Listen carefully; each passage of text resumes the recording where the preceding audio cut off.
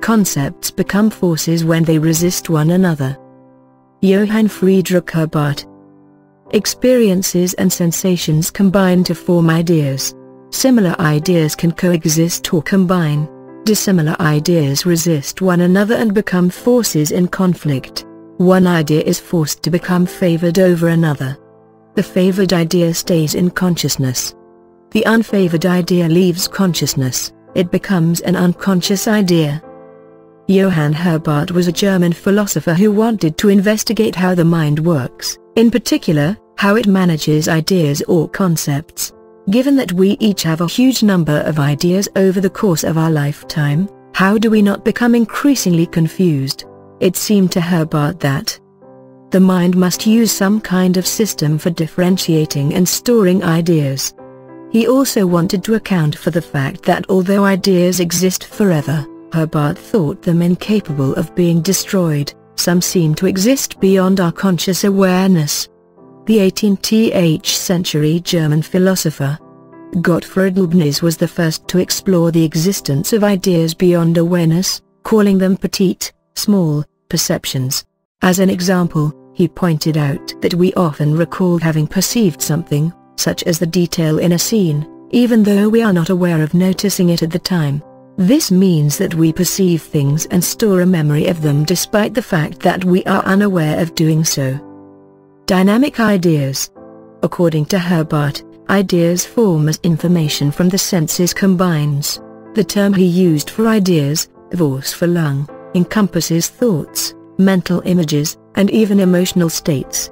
These make up the entire content of the mind, and Herbart saw them not as static but dynamic elements, able to move and interact with one another. Ideas, he said, can attract and combine with other ideas or feelings, or repulse them, rather like magnets. Similar ideas, such as a color and tone, attract each other and combine to form a more complex idea. However, if two ideas are unalike, they may continue to exist without association. This causes them to weaken over time, so that they eventually sink below the threshold of consciousness. Should two ideas directly contradict one another, resistance occurs and concepts become forces when they resist one another. They repel one another with an energy that propels one of them beyond consciousness, into a place that Herbart referred to as a state of tendency, and we now know as the unconscious. Herbart saw the unconscious as simply a kind of storage place for weak or opposed ideas. In positing a two-part consciousness, split by a distinct threshold, he was attempting to deliver a structural solution for the management of ideas in a healthy mind. But Sigmund Freud was to see it as a much more complex and revealing mechanism.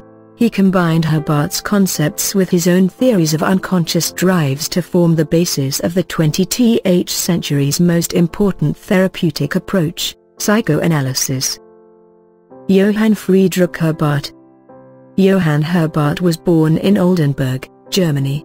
He was tutored at home by his mother until he was 12, after which he attended the local school before entering the University of Jena to study philosophy. He spent three years as a private tutor before gaining a doctorate at Göttingen University, where he lectured in philosophy.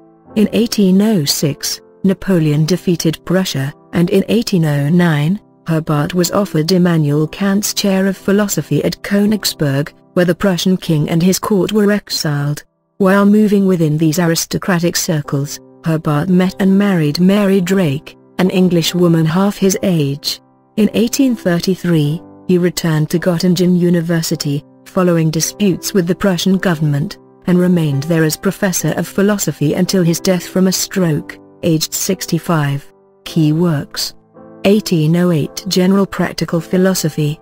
1816 A textbook in psychology. 1824 Psychology as Science.